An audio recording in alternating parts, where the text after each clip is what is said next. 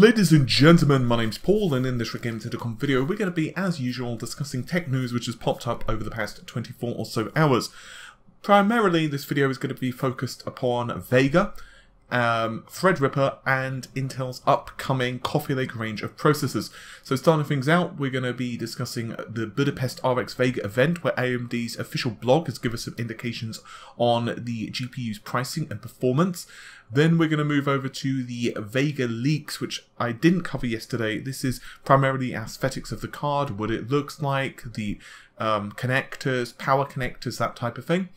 Then we're going to finish with the AMD stuff with the Threadripper lineup. That's right, the entire set of SKUs appears to have leaked on to the internet. And finally, much the same thing actually happened to Intel because its Coffee Lake S series of processor specifications have also leaked out to the internet. So we're going to start out with Budapest first, and I'd like to thank two viewers for sending over this particular link. That is, once again, to the AMD official blog. That is Henrik and George. So thanks very much to those individuals. So, I feel most of you at this point know what AMD have been doing, showing RX Vega to various gamers and essentially doing a side-by-side -side comparison. So we have confirmation here of the setup. Uh, both monitors, which one was a FreeSync, one was a G-Sync. The FreeSync monitor was an Asus MX34Q, while the G-Sync was a PG34. Now there are a couple of differences. One was a VA, one was an IPS. And of course, one's FreeSync, one's G-Sync. One had slightly better viewing angles, one had slightly better contrast slash color reproduction. But essentially, both monitors were limited to 100 Hz. Both systems had Ryzen 7 1800X processors and 16GB of DDR4 memory, no mention on clock speed with that. However, apparently the reason to avoid opinions was they didn't allow frame rates to be shown. They wanted people to just basically decide upon the merits of the display themselves. In fact, AMD specifically mentioned Quote, the point of this challenge was, could a trained gamer's eyes tell the difference? Did one seem faster or smoother? Most gamers said that the left system was smoother, others mentioned the right system was more colourful, some gamers on slash r slash AMD, in other words Reddit, based on available information, argued that the left system had to be G-Sync because the monitor of it was an IPS characteristics, though the Radeon RX Vega plus FreeSync, which was the left system, came out on top on most gamers, they said the differences were minimal and they couldn't tell the difference. Now, all of that stuff is pretty much reinforcing information what we know. So what differences are there? Well, there's a couple of things. One, in this particular post, um, the biggest difference between the two systems was the price simply on the monitor itself. The G-Sync display costing 300 US dollars more than its FreeSync counterpart. And then I'm going to read this verbatim. So here's the question every gamer will have to ask themselves. Is the NVIDIA G-Sync solution worth it for a few extra hundred extra bucks if it provides almost the same or in Budapest, Budapest excuse me, case somewhat inferior experience, even if we've pitted, now this is the crucial bit, so listen to this very carefully and check out on screen. Even if we pitted the Radeon RX Vega against the mightier GeForce GTX 1080 Ti, my money would be that similar outcomes that you wouldn't really be able to tell a difference with variable refresh rates. And I believe no gamer should ever consider buying a monitor. I just want to stress that word one more time a monitor that isn't capable of a variable refresh rate. And then the individual who's written this particular post decides to go on and say that he really enjoyed his time at the event and so on and so on. Now I'm just going to repeat that one more time. Even if we pitted the Radeon RX Vega against the mightier GeForce GTX 1080 Ti. So what this tells me is that this card is not most likely going to beat a GTX 1080 Ti.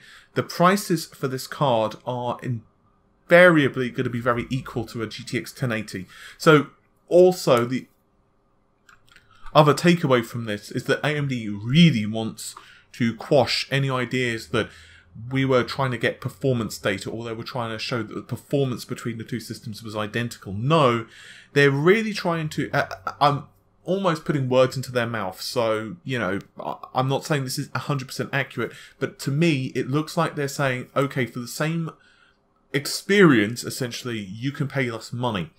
Now, I grant you that this is not the best way of describing this always? Because yes okay if you're playing battlefield or doom or a game that can push these type of frame rates yeah that definitely takes things into consideration like but if you're running at like a 4k screen then obviously the graphics card's more important.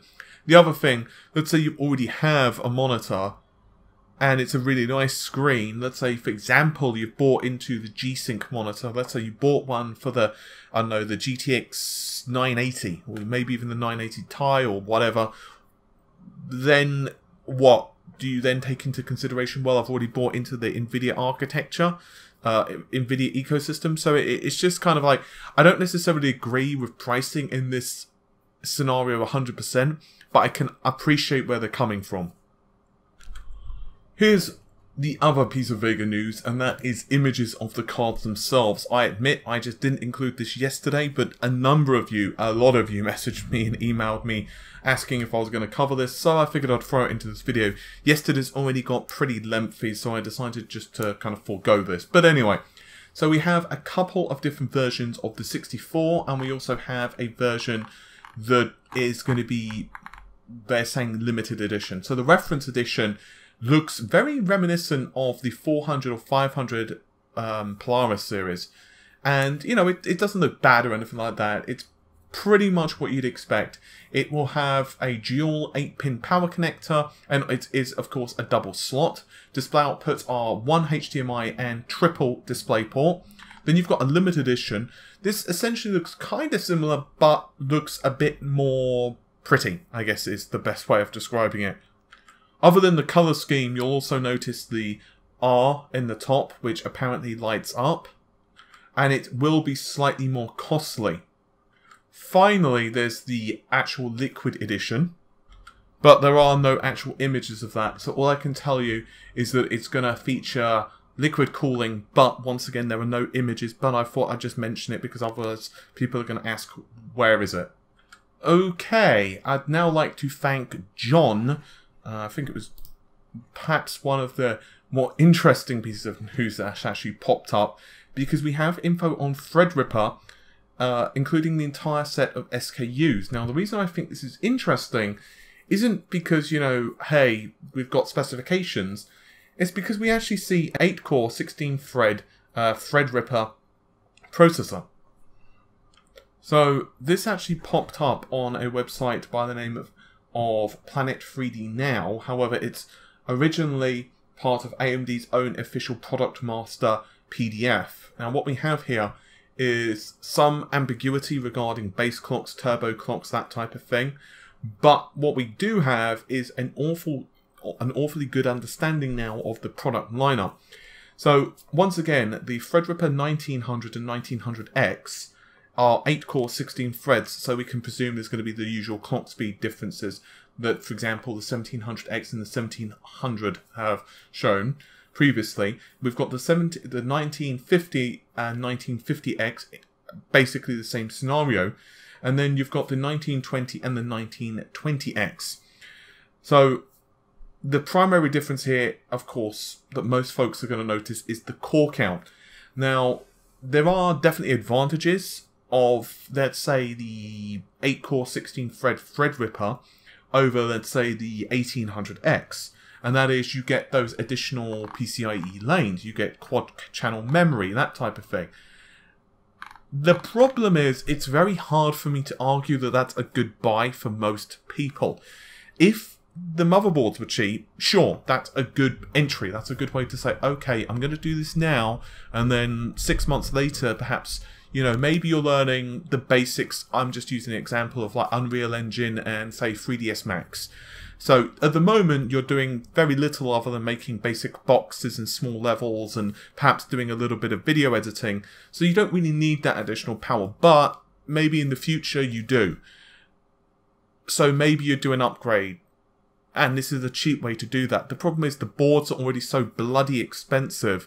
It's not like you're going to save like a whole bunch of cash and quite honestly, um, yes, the I/O is definitely a good thing, but I, I I, don't think people. Um, obviously your scenario might diff might be very different, and obviously it does depend upon I/O. It does depend on your need for multiple graphics cards and that type of thing. But I think the average person, the average high-end individual who perhaps has a couple of graphics cards probably doesn't need 64 PCIe lanes, and I would probably say if they only need an 8-core 16-thread processor, I say only, and of course the loosest ten- sense, it's still very, uh, uh, still bloody good number of cores, but if that's all you need, then probably a regular uh, AM4 setup would do you, but still, it's nice that this is there. I'm very curious to see what the pricing is going to be. Oh, and a couple of people also messaged me regarding der8auer. Now, he, of course, got hold of a Threadripper processor, took it apart, delidded it, in other words, and showed that there were four uh, cores inside of it. Now AMD have actually asked him to take down the video. It's not deleted, it's just taken down.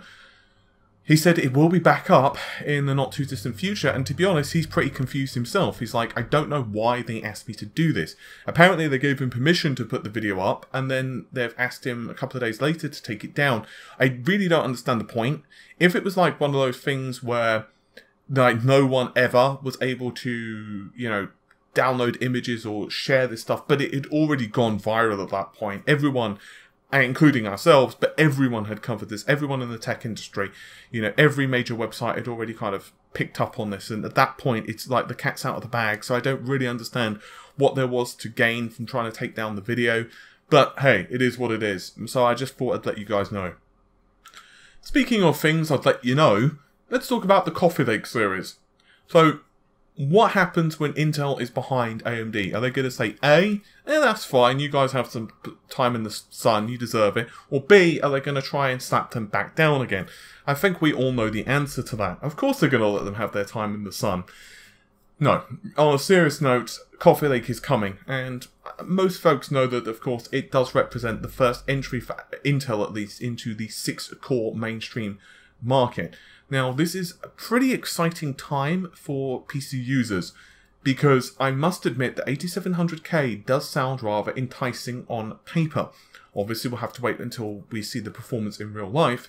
But anyway, we have finally some confirmed specifications for this card. Now, this information actually originates on the AnandTech forum, so I'd like to thank Jamie for sending this over.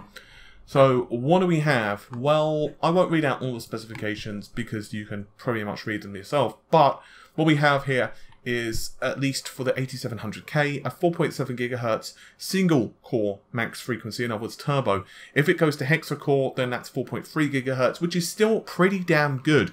The 8700, in other words, the non-K, is basically the same, only the single core turbo isn't quite as high, neither is the dual, neither is the quad, but the hexa-core speeds are identical. Integrated memory controller, the base frequency is 2666, not too surprising there. DDR4 overclock is capable only on the K. Smart, smart cache, excuse me, size is 12 megabytes. Uh, we also have the 8600K, and this is confirmation right here of the number of processor cores, six which is pretty cool. So even the the i5s are going to be nudged up to six cores, assuming these leaks are accurate, and I wouldn't be surprised if they are. The clock speeds are somewhat more lean, I suppose is the best way of describing this, with the max turbo frequency of a single core only 4.3 gigahertz, but still, that's not that's not shabby. You know, you're not going to be complaining too much.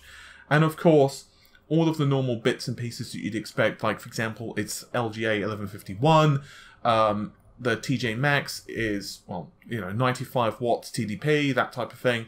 Um, and obviously, there's going to be a couple of different derivatives of this. We've also got the 8400 as well.